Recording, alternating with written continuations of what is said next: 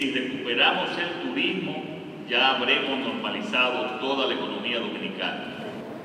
Con estas palabras, el presidente Luis Abinader exhortó al sector turístico del país a sumarse para el manejo efectivo de la crisis sanitaria, a los fines de minimizar los efectos negativos de la pandemia. Hago un llamado a las cadenas hoteleras a abrir sus puertas a partir del primero de octubre próximo.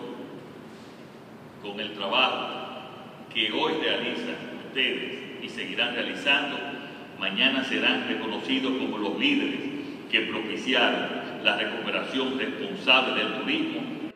Al sostener un encuentro con el Gabinete de Turismo para ultimar detalles del plan que será implementado a partir del próximo martes 15, el gobierno aseguró que no ha dejado nada al azar con respecto a la aplicación del protocolo sanitario en las zonas hoteleras. Estamos tomando medidas que pongan en riesgo a nuestros nacionales. La prioridad de este gobierno, del Gabinete de Turismo, son los ciudadanos dominicanos pero tenemos que hacer conciencia.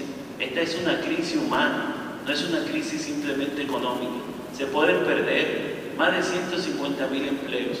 El gobierno y el país están perdiendo más de 2.500 millones de dólares de flujo en sus divisas y tenemos que recuperar el turismo.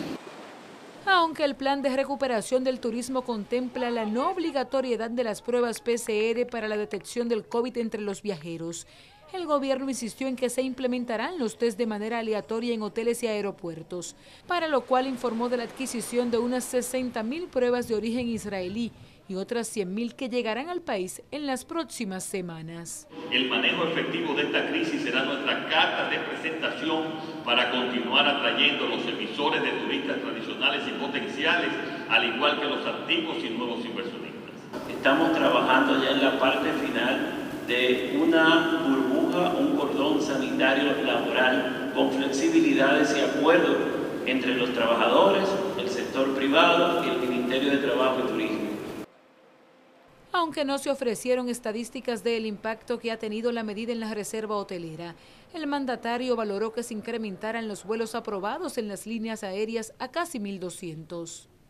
Tras asegurar que ha habido una disminución en las estadísticas de COVID-19 en el país, el presidente informó que el gobierno contempla reducir el horario del toque de queda en las zonas turísticas. Rocío Quiros Noticias, SIN.